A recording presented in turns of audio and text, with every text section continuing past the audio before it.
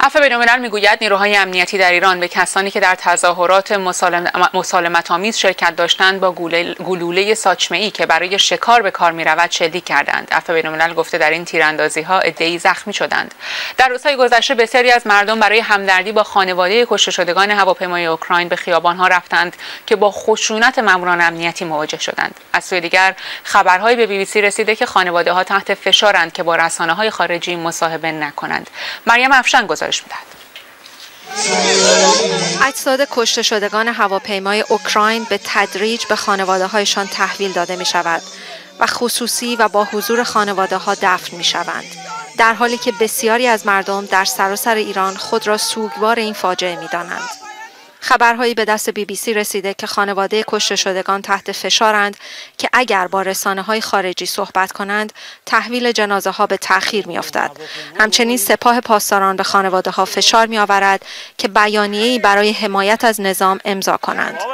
این توییت فردوسی خانی یکی از پادکست های پرطرفدار فارسی است. امیر حسین سعیدی نیا دانشجوی دکترای دانشگاه آلبرت های کانادا یکی از کشته شدگان هواپیمای اوکراین بود. این صدای مادرش است.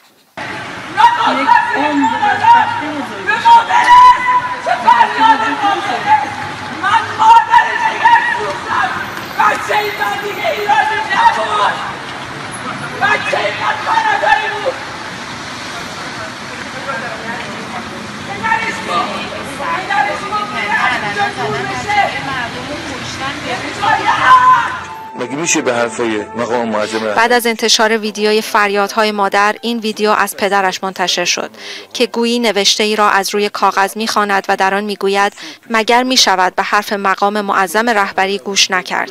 به شما عرض بکنم. این هم سخنان امیرعلی حاجیزاده فرمانده موشکی سپاه در خانه یکی از کشته شدگان هواپیمای اوکراینی است.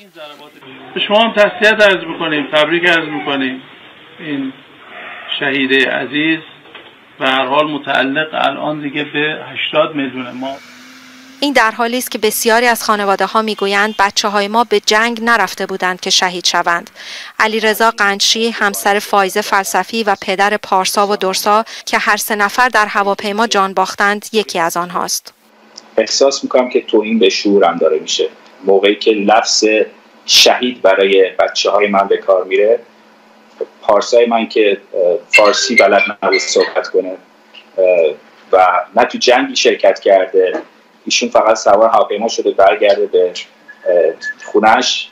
نه قرار بوده تو جپهی باشه نه سردار جنگی بوده نه دشمنی در مقابلش بوده. و طبق یک حادثه یعنی طبق یک موشکی که حالا هر نفی بعد لفظ شهید براش گذاشته میشه برای من این قابل قبول به حزم نیستش و قطعا احساسم فقط این است که توهین به شعور من هستش 176 نفر بر اثر اصابت موشک در هواپیمایی که از تهران به کیف می‌رفت جان خود را از دست دادند. ایران سه روز بعد اصابت موشک را پذیرفت و گفت خطای انسانی بوده. هیچ مقام حکومتی بابت این خطا استعفا نکرد. از همان روز بسیاری به خیابانها ریختند در اعتراض و برای سوگواری و همدردی با خانواده هایی که عزیزانشان را در این حادثه از دست دادند. مردم سوگوار با خشونت و سرکوب مواجه شدند.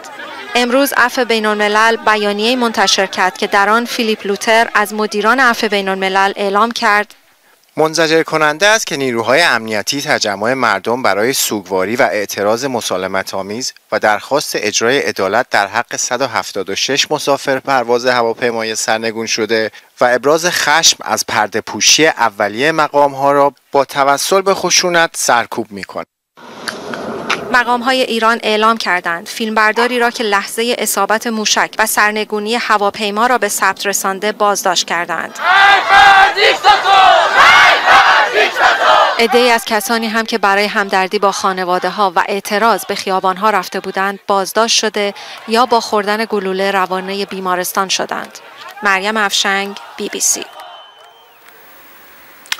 شش روز از سرنگونی هواپیمای مسافربری اوکراین در پی شلیک دو موشک سپاه پاسداران گذشته اما همانند بسیاری از حوادث دیگر در ایران هیچ مقامی به نشانه پذیرش مسئولیت از مقامش کنارگیری نکرده. کیوان حسینی نگاهی دارد به حوادث مشابه در گذشته و غیبت همیشگی استعفاهایی که از نگاه بعضی مسئولان, بعضی مسئولان توصیف می شود من خدای بزرگ را به شهادت می گیرم دوست داشتم داخل این هواپیما باشم و با اینها سقوط کنم و بسوزم. همین سردار و هم این سردار. واقعا آرزوی مرگ کردم برای خودم که ای کاش میمردم و چنین حادثه ای رو شاهد نبودم. هر دو برای این حادثه آرزوی مرگ کردند. اما استعفا نه.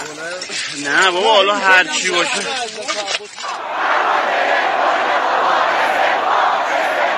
خواسته ای که برخی معترضین بر آن پا می فشارند آن هم نه استعفای فرماندهان سپاه بلکه استعفای رئیس این فرماندهان.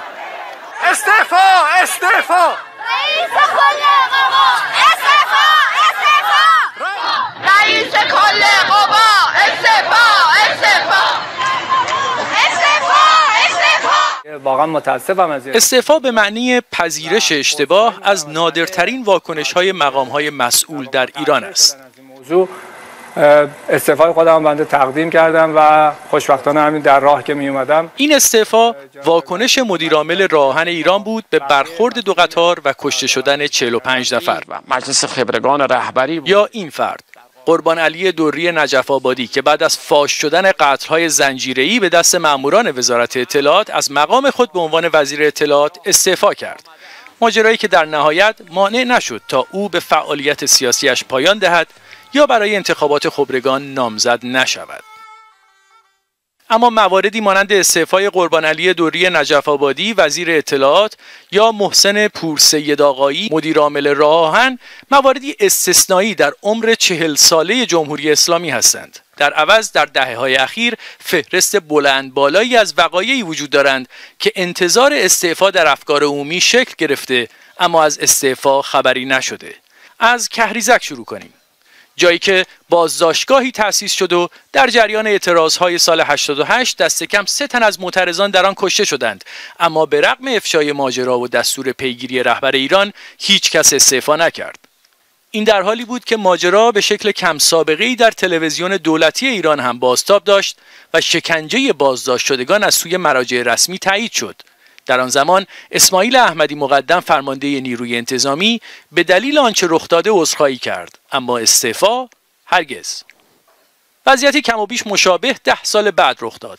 در جریان اعتراضهای آبان ماه 98 که به گفته سازمان عفو بین الملل بیش از 300 نفر کشته شدند و به گفته برخی منابع مانند خبرگزاری رویترز تعداد قربانیان به 1500 نفر هم می‌رسد.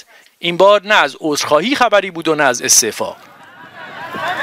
جرقه اعتراض ها را گران شدن بنزین زد. اما این اعتراض ها خیلی زود سمت و سوی ضد حکومتی پیدا کرد. آمار کم سابقه تعداد کشته شدگان حتی با رویه سابق حکومت کنونی ایران نیز قابل مقایسه نبود. ولی هیچ کس استعفا نکرد. نه در مجلس نه در دولت و نه در قوه قضاییه. اما همیشه تعداد بالای کشته شدگان به انتظار استعفای مقامات در افکار عمومی دامن نزده. در ماجرای حمله به کوی دانشگاه تهران بر اساس روایت رسمی یک نفر کشته شد. این بار وزیر علوم استعفا کرد اما با استعفایش مخالفت شد. در جریان حمله کوی استعفا شاید کمترین خواسته دانشجویان بود. بی سابقه بودن حمله به بی سابقه بودن اعتراض ها انجامید. مصطفی معین وزیر وقت علوم می‌گفت که استعفا کرده ولی رئیس جمهور نپذیرفته. در میان نیروهای انتظامی و سپاه که عاملین حمله بودند هم اصولا کسی صحبت از استعفا نکرد. و درخواست استعفا همیشه سمت و سوی تند سیاسی هم ندارد مانند حادثه انفجار قطار نیشابور که با 320 قربانی بزرگترین سانحه ریلی کشور لقب گرفت. اما برخلاف فشار شدید رسانه و افکار عمومی هیچ کس استعفا نکرد. در این سانحه که در سال 82 اتفاق افتاد اکثر قربانیان کسانی بودند که برای تماشای دو قطار تصادف کرده جمع شده بودند. اما انفجار به مرگ آنها انجامید. سانحه‌ای که به گفته منتقدین بیتوجهی به پیش پا افتاده ترین اصول کمک رسانی و امداد و مواجهه با حوادثی از این دست تعداد قابل توجهی کشته بر جای گذاشت. اما مسئولی با استعفا مسئولیت بر عهده نگرفت. وضعیت کمابیش مشابهی نیز در جریان آتش سوزی و فرو ریختن ساختمان معروف پلاسکو در تهران شکل گرفت. در این حادثه 21 تن کشته شدند. قربانیان پلاسکو عموما آتش نشانانی بودند که در هنگام ریزش ساختمان درون آن حضور داشتند.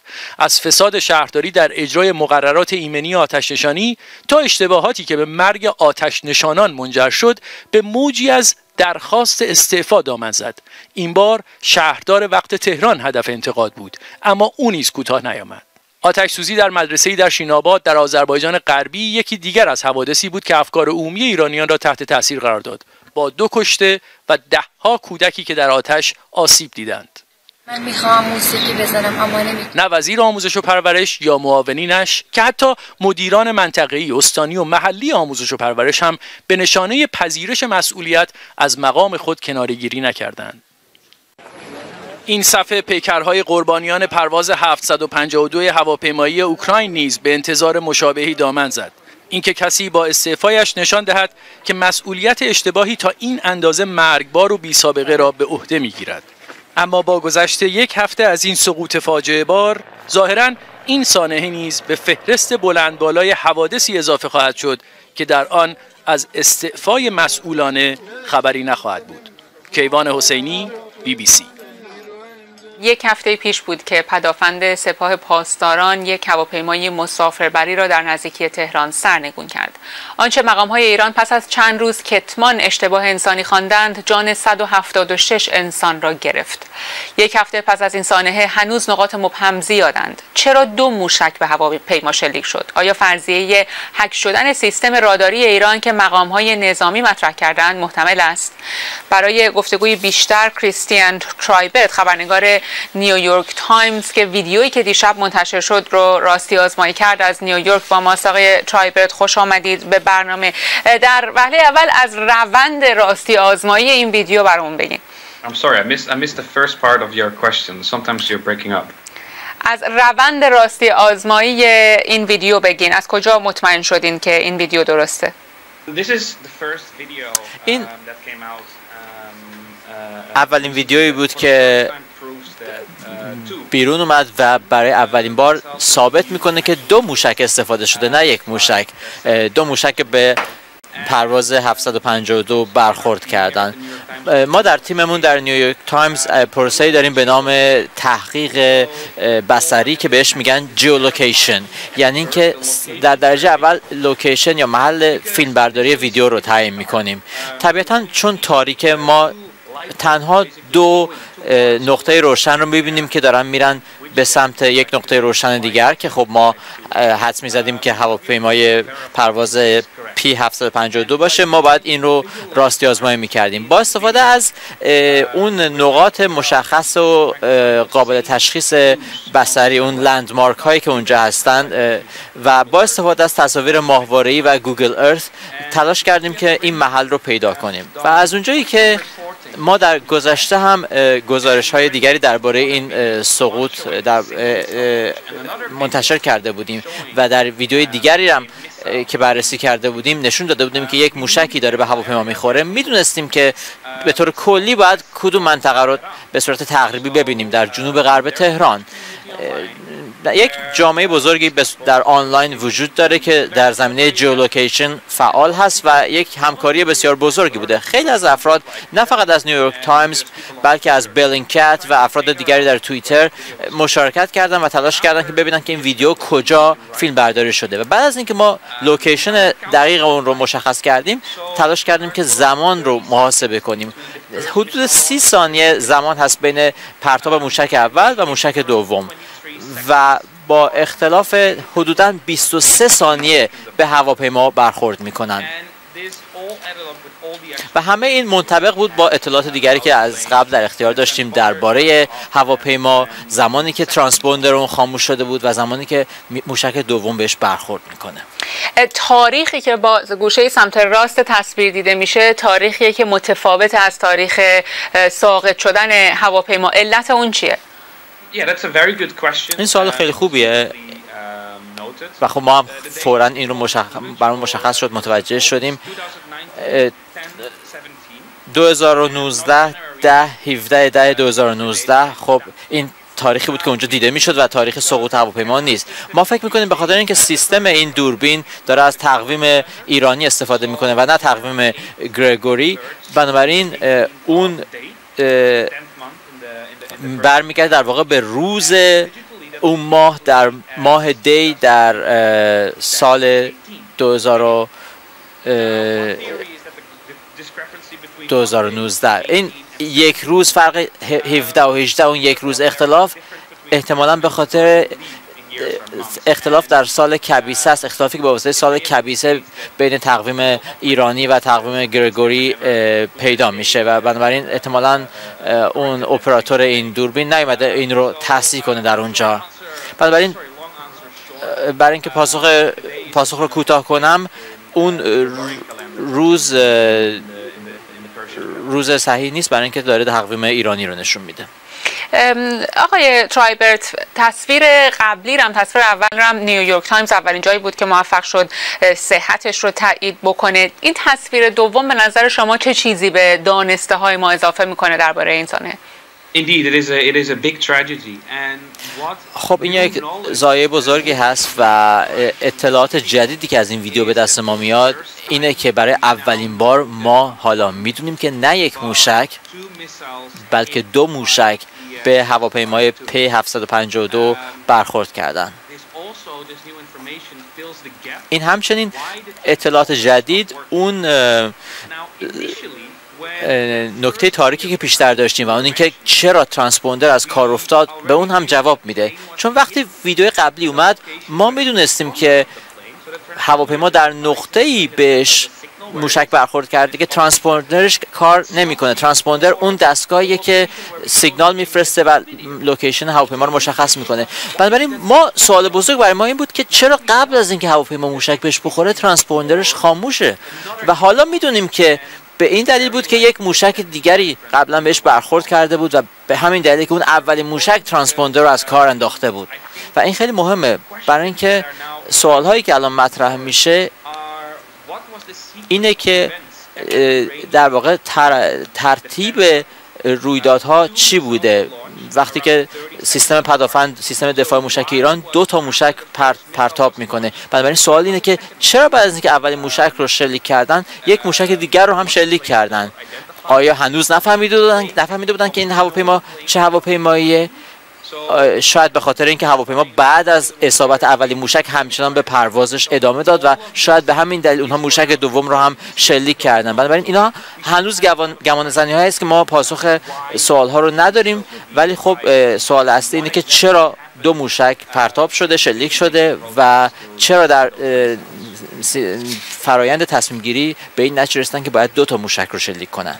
متشکرم کریستیان ترایبرت خبرنگار نیویورک تایمز. سوال هایی که آقای ترایبرت مطرح کردند رو دیرتر از یک کارشناس امور نظامی و افسر سابق نیروهای مسلح کانادا خواهیم پرسید. هادی نیلی همکارم در همین زمینه گزارش تهیه کرده. ابتدا رو ببینیم برمیگردیم. مجموعه پیشرفته پدافند هوایی تور M1 در سیستم پدافند نیروی هوایی سپاه پاسداران انقلاب اسلامی به کار گرفته شد. بهمن ماه 1385 13 سال پیش رونمایی سپاه پاسداران از سامانه پدافند هوایی تور M1 ساخت روسیه در یکی از نقاط اوج بحران بر سر برنامه هسته ایران و در میان حدس و گمانها درباره احتمال حمله موضعی آمریکا یا اسرائیل به تأسیسات هسته‌ای دولت‌های غربی درباره فروش این سامانه دفاعی به ایران ابراز نگرانی کرده بودند. چند سال بعد از امضای قرارداد ایران این سامانه را از روسیه تحویل گرفت. در مباهات به دقت این سامانه گزارشگر تلویزیون دولتی گفت که تحت تاثیر جنگ الکترونیک هواپیماهای دشمن قرار نمی‌گیرد. این سیستم به دلیل استفاده از سامانه‌های رهگیری غیرفعال قادر است بدون اینکه تحت تاثیر جنگ الکترونیک هواپیماهای دشمن قرار گیرد آنها را رهگیری کنند. سیزده سال بعد در میان بحت و انتقادها از شلیک سپاه به هواپیمای مسافربری پرواز 752 مقامهای ارشد نظامی ایران می‌گویند احتمال نقش جنگ الکترونیک را در نظر دارند. ما یه تیم بررسی سایبری و الکترونیک هم تشکیل دادیم. به محض اینکه این مسائل روشن شد اینها هم شروع به کار کردن که این موارد رو در بیارن ولی من عرضم اینه که در مورد این سامانه و این هواپیما و مشخصات و مختصاتی که وجود داره این کار یه مقدار بعید به نظر می‌رسه ولی با این حال قابل بررسی است. برگزاری رزمایش با وجودی که این چهره های ارشد نظامی هم این احتمال را بعید میشمرند فرمانده هوافضای سپاه می‌گوید در آن سه روز اول که به انکارهای مقامهای ایران در حمله به هواپیما گذشت عدهای هم تلاش می‌کردند فرضیه جنگ الکترونیک را مطرح کنند برای کنترل فضا. مطرح نکنیم. ضمن که بالاخره اون حالا ما ادعای کرده بودیم همچین اتفاقی افتاده ولی ستادهای بالاتر ستاد کل اینا اونها همین الان ببینید تو فضای مجازی چی میگن؟ میگن که نام جنگ الکترونیک بوده چی بوده. همون موقع همین بحثا مطرح شد. گفتم ما باید بیایم کنترل بکنیم. یعنی دو تا موضوع باعث شد که ما بلافاصله اطلاع رسانی نکنیم این رو. یعنی به نفع امنیت کشور بود. چون اگه مطرح می‌کردیم کلا سیستم پدافندی ما دیگه فشل می‌شد. خب بچه ها اصلا به همه چی دیگه شک می‌کردن. این شوکی که وارد شد خب الحمدلله الان برطرف شده.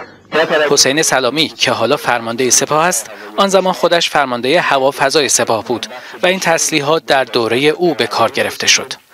انتشار عکسی از آنچه به نظر می رسید سر موشکی باشد که در سامانه تور شلیک می شود که گفته شد در نزدیکی محل اصابت موشک به هواپیمای اوکراینی پیدا شده این فرضیه را تقویت کرد که پای تور در میان بوده است.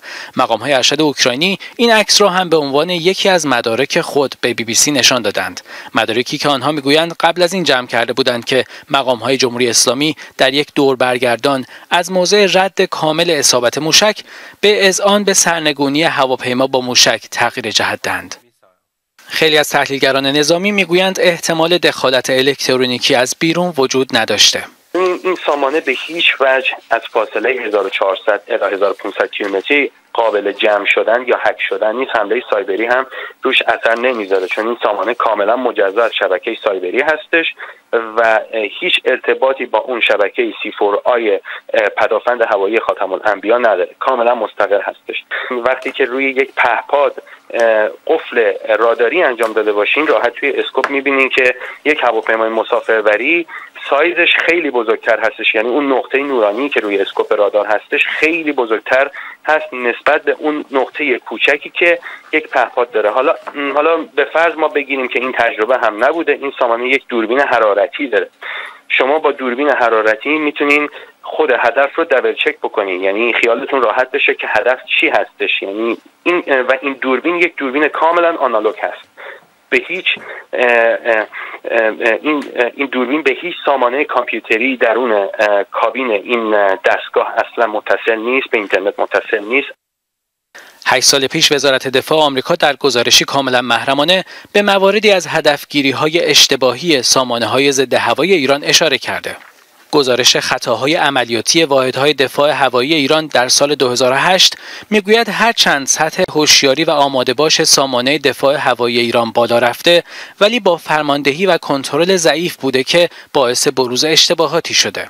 در این گزارش آمده که در جوان سال 2007 میلادی یعنی خرداد یا تیر 1386 سپاه پاسداران با سامانه تور به طرف یک هواپیمای غیر نظامی شلیک کرده. در این تاریخ گزارشی از صدمه به هواپیمای غیر نظامی در آسمان ایران در دست نیست و البته در گزارش پنتاگون هم حرفی از صدمه احتمالی نیامده. یک سال بعد هم در ماه مه 2008 اردیبهشت یا خرداد 1387 سامانه دفاع هوایی ایران به یک هواپیمای مسافری و همینطور یک پهپاد تجسسی ایران شلیک کرده. در همان ماه شلیک اشتباه به یک F-14 نیروی هوایی ایران هم ثبت شده. علاوه بر اینها در سال 1387 سامانه دفاع هوایی ایران به دو هواپیمای مسافری دیگر هم شلیک کرده. سامانه دفاع هوایی ایران دو هواپیمای مسافری دیگر را هم هدف گرفته. این پرونده قطور 13 سال حضور سامانه توریک به ابهامهای این روزها درباره سرنگونی هواپیمای مسافری دامن زده. جان 176 نفر گرفته شد. هزاران نفر از بستگان آشنایان آنها سوگوار شدند و یک تراژدی ملی در ایران و کانادا رقم زد. افکار عمومی با بهت از این سانحه و خشم از اشتباه و پنهانکاری هنوز چشم به جزئیات تازه دارد جزئیاتی که شاید جوابی باشند برای سوالهایی از این دست که چرا هواپیمای مسافربری چه کسی و چرا در چنان ساعتی پس از حمله به مقر آمریکایی ها در عراق اجازه داد پروازهای مسافری ادامه پیدا کند. چرا آنطور که فرماندهان سپاه می‌گویند آن را با موشک کروز در اندازه کاملا متفاوت اشتباه گرفتند که چطور با سی ثانیه فاصله دو موشک دست کم دو موشک به طرف این هواپیمای تازه برخواسته شلیک شد و اینکه چطور می‌توان مطمئن شد که دیگر چنین اشتباههایی رخ ندهد. مایک میهایلوویچ متخصص تکنولوژی نظامی و افسر سابق نیروهای مسلح کانادا از تورنتو با ماست. آقای میهایلوویچ سوالی که برای بسیاری مطرح در روزهای گذشته اینه که چرا بعد از موشک اول موشک دوم شلیک شده؟ شما فکر می‌کنید علت چیه؟ پروسه استاندارد در سیستم موشکی تور اینه که دو تا موشک با فاصله سه تا پنج ثانیه شلیک می‌کنن. بنابراین نظر شخصی من اینه که فرمانده پرتاب در این واحد موشکی بعد از اینکه اولین موشک رو انداخته و من متاسفانه باید از این لغت هدف استفاده کنم برای اینکه این یک هدف بوده. از دیده که این هدف مسیرش رو تغییر نداده و متلاشی نشده نابود نشده. بنابراین چند ثانیه فرصت داشته که ببینه باید چه کار کنه. بنابراین بعد تصمیم گرفته که یک موشک دوم رو هم شلی کنه. بنابراین در این لحظه چون همه اطلاعات رو نداریم در, در این باره که چه اتفاقی واقعا افتاده در اون کابین من می‌تونم بگم که به نظر من طبیعتا این کاملا وابسته به تصمیم فرمانده اون واحد پدافند بوده که تصمیم گرفته که هواپیمایی که قبل, قبل از اون با موشک اول آسیب دیده رو یک موشک دوم هم بهش شلیک کنه. میفرمایید که بین دو تا شلیک معمولا سه تا پنج ثانیه فاصله هست اما در تصویری که منتشر شده به نظر میاد که سی ثانیه فاصله هست. در اون سی ثانیه امکان نبوده که متوجه بشن که این هواپیمای مسافربریه و نه موشک کروز؟ بله من باید بگم که یک پرسنل با تجربه که خوب تعلیم دیده باشن می‌تونن یک نقطه روشن بزرگی در صفحه رادارشون ببینن و باید متوجه بشن که این با مسئله نظامی فرق می‌کنه. این مسیرش با مسیر یک موشک کروز فرق می‌کنه. بسته به نوع موشک کروز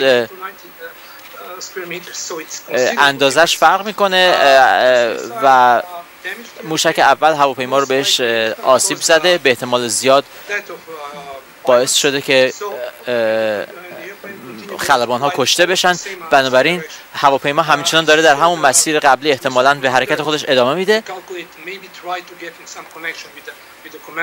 و خب اون اپراتور باید که یک محاسباتی انجام می‌داده یا باید با فرمانده خودش مشورت می‌کرده. ولی فکر می‌کنم که احتمالا وظیفش این بوده که اون هدف مشخص شده برای خودش رو نابود کنه. بنابراین تصمیم گرفته که موشک دوم رو شلیک کنه.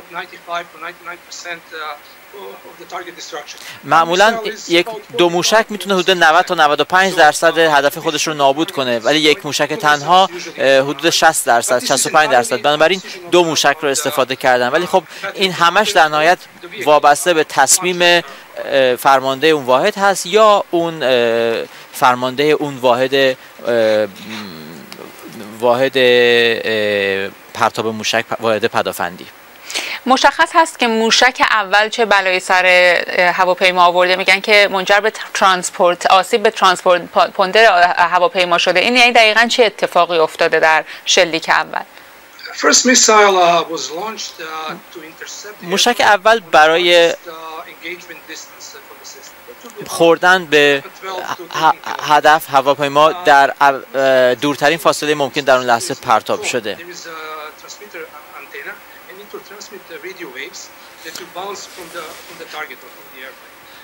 در ترانسپوندر یک آنتن آنتنی وجود داره که یک سیگنال هایی رو از خودش متساعد می‌کنه.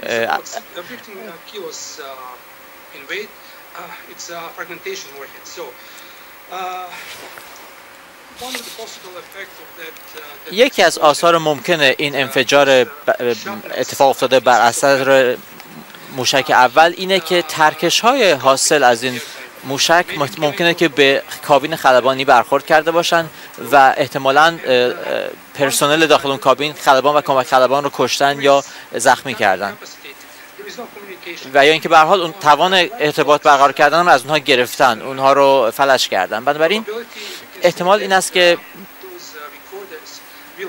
اون ضبط کننده هایی که در داخل کابین باشن لحظه دقیق اصابت رو لحظه دقیق انفجار رو ثبت کرده باشن چون یک صدای بنگ خیلی بزرگی بوده. به هر حال به دلیل انفجار یا به دلیل اینکه خدمه کشته شدن یا به شدت زخمی شدن واکنش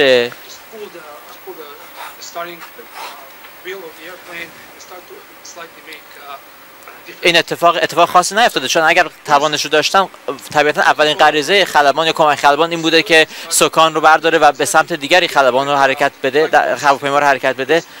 ولی خب مهمتر اینه که ما ببینیم که چه چیزی ضبط شده در این تاسیسات تجهیزات ضبط هواپیما. ما مطمئنیم که یک صدای انفجار بزرگ یک big bang اونجا ضبط شده.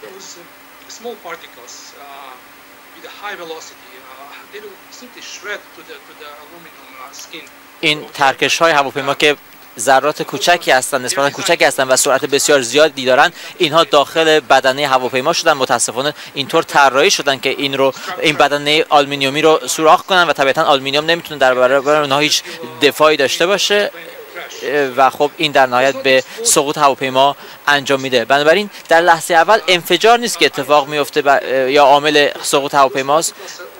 چون این particle ها این ذرات این ترکش ها دمای خیلی بالایی دارن.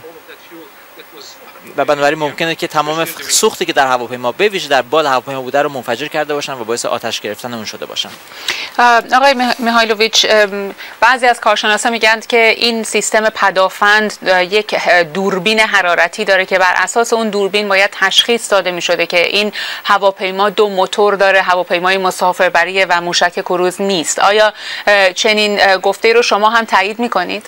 Okay, so I have to comment about that because من باید در این باره اظهار نظر کنم. برای اینکه دوربین حرارتی یکی از گزینه هاست.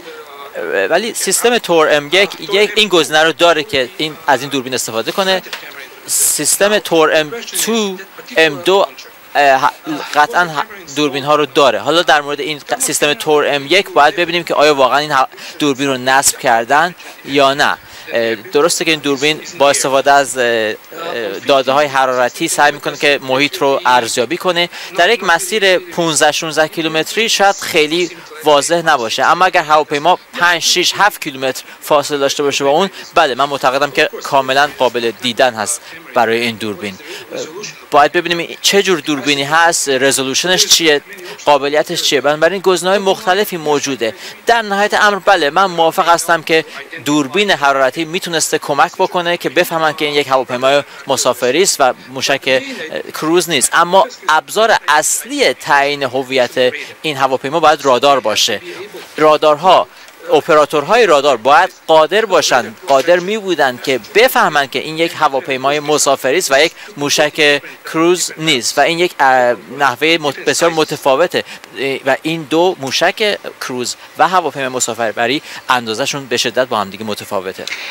بعضی از مقام های ایران این ادعا رو مطرح کردند که احتمال داره آمریکا این رادارها رو دستکاری کرده باشه. چقدر امکان دستکاری این رادارها وجود داره؟ تکنولوژی موجود هست که آمریکایی ها دارن. اسرائیلی ها دارن بهش میگن NCTT و ساترن اطلاعاتش به شدت طبقه بندی شده است. خیلی سریه در سطوح بسیار بالا. این امکان هست که تکنولوژی از این تکنولوژی استفاده بشه در مسافت های کوتاه. اما این که بخوایم جای یک راداری که هزاران کیلومتر از مرز ایران احتمالا فاصله داره از مرز ایران و عراق یا از خلیج فارس یا از افغانستان فاصله داره به نظر من خیلی کم احتمالش خیلی غیر محتمله. در این لحظه باید فکر کنیم به این به عنوان یکی از امکانها که محتمل نیست و همزمان سپاه پاسداران انقلاب اسلامی ممکن اطلاعاتی داشته باشند درباره پرواز هواپیماها. و وقتی چنین ادعایی مطرح می‌کنن که موشک های دوربرد رادارهای دوربرد اونها که فاصله زیادی با خلیج فارس یا مرز عراق افغانستان دارن چنین اطلاعی چیزی رو ثابت نمی‌کنه. یکی از چیزهایی که می‌تونه این رو ثابت کنه اینه که اون ریدر رکورد یا اون سابقه راداری رو ارائه بدن ببینن که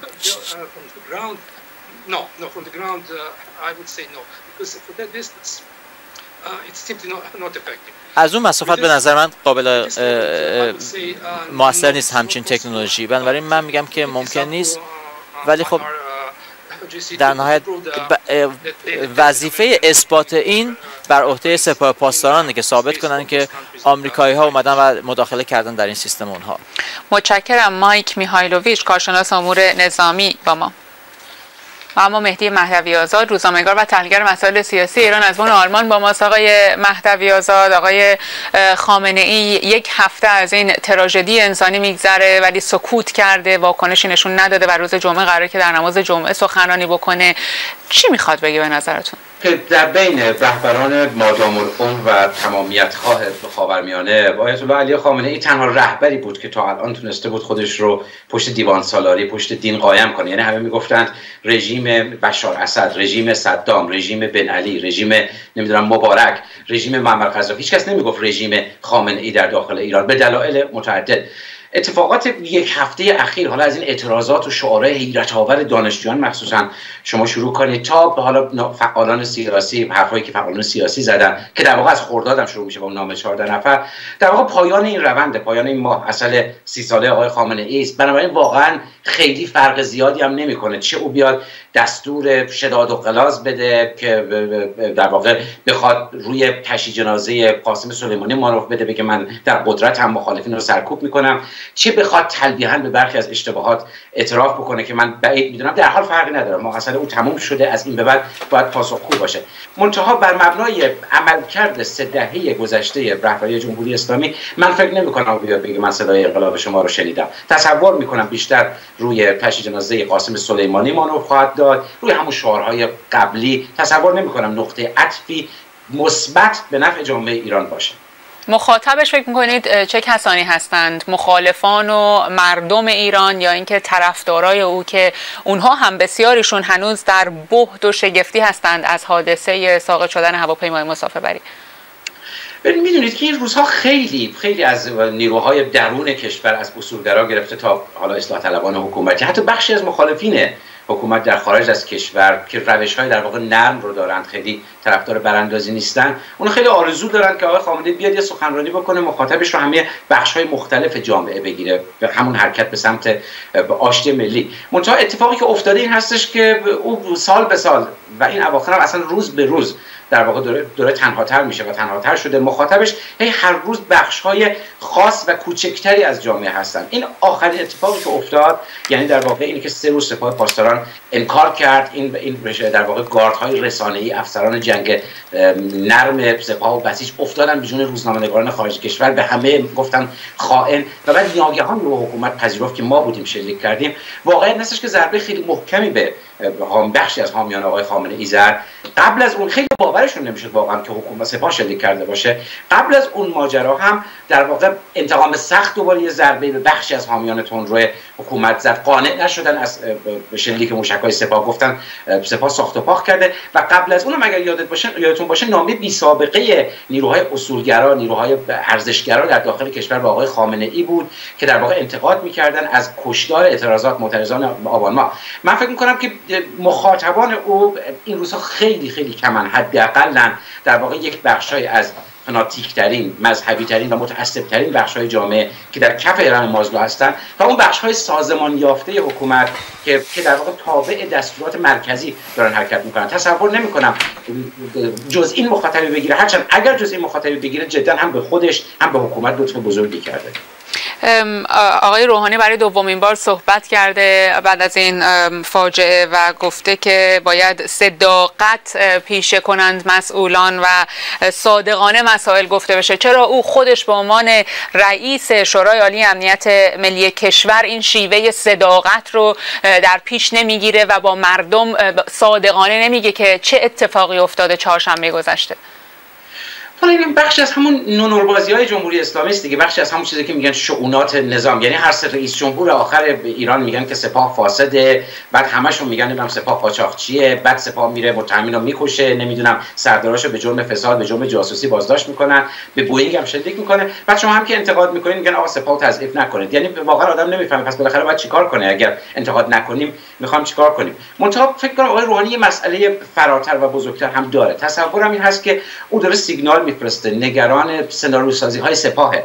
سناریو سازی فقط این نیست که صورت مسئله رو عوض کنن. الان داریم میشنویم که هی دارن بحث جنگ روانی آمریکا رو مطرح می‌کنن جنگ الکترونیک عذرخواهی می‌کنن اینکه آمریکا هک کرده شبکه پدافندی ایرانی دارن روش بیانیه میدن مانور میدن. اون فیلم بردار بیچاره نگهبان حاشیه پرند که فیلم برداری کرده اون رو گرفتن معلوم نیست چه اعترافی می‌خوان ازش بگیرن. فقط مسئله سناریو سازی سپاه این نیست که صورت مسئله رو عوض می‌کنه.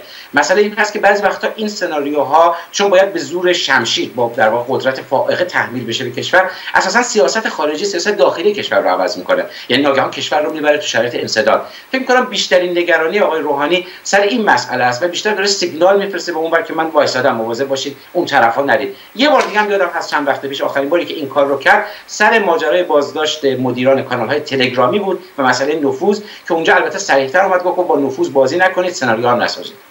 متشکرم. مهدی مهدوی آزاد روزنامه‌نگار و تحلیلگر مسائل سیاسی ایران.